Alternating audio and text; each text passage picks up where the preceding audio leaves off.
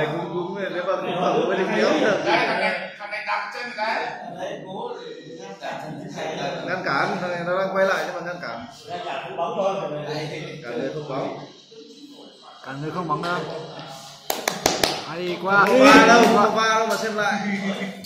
Thì bảo đi em ơi đừng có sút ra ngoài cơ hội của mình đấy cơ hội cơ hội nhất bản của mình đấy. Sinh à? Xinh á mười mươi rồi nhá. Đập dập cho nó. Cơ hội nhất bản mình đấy.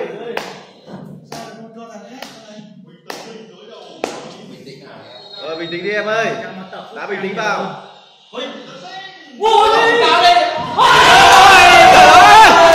Em ơi. Bây giờ đi sinh là đi sinh Chính là xong cho giờ hai quả thế cũng đã đá quả cái thằng đệm thứ hai cũng thế thằng này sút nhỉ có ai nữa đâu? Có ai đâu? Đây. Thằng còn nó ngã thủ môn nó ngã rồi. Chịu chịu chịu cái cái chỉ cần đệm một phát là vào. Đệm phát bằng quá tân tí rồi. Trời. Hết thua đúng yêu môi nó ra lại nó lại à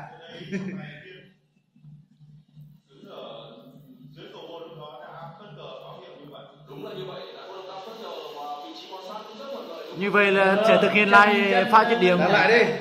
Chân nhảy ra khỏi ấy rồi như ve và nó quay lại. Tức là chân của thủ môn nhảy ra khỏi vết à?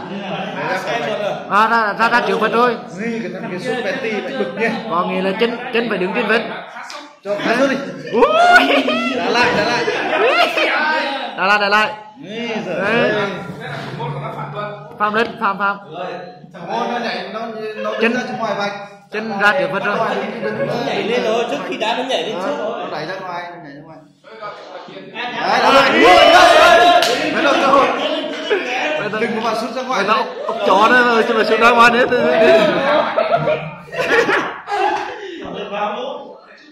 phải đứng vào vạch kia nhảy ra ngoài làm gì Trong tay biết thổi. Đấy. Tiến linh à tiến linh à? Được. Thằng thằng thằng trong tay biết này được. Quá nhiều cũng mày rồi. có ừ nữa. có ra ngoài nữa gì? Đâu cơ hội đâu. thầy suốt thì vậy xa suốt tưởng rất căng thẳng đấy. Còn nó vào mới hay. Em ơi. Số phận nó vẫn là tiến linh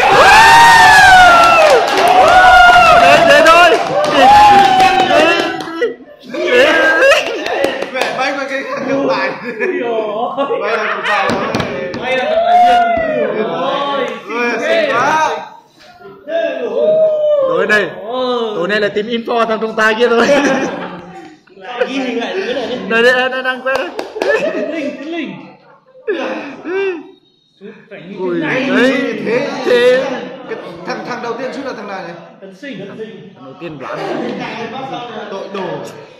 Đức trinh quả đấy. mà mẹ quả kia đúng là May mà đấy lại. đúng là tiền tiền đạo quá cùi đúng không? Ui quá cùi bắp. Tiền đạo như thế. Chị nó đừng có nuốt quả đầu may mắn thôi còn trách chị nó đầu thôi mà chính quả nào mà chị đá lại cái này? Trận này hấp dẫn lắm. Có ngoại hạng này nó dạo này nó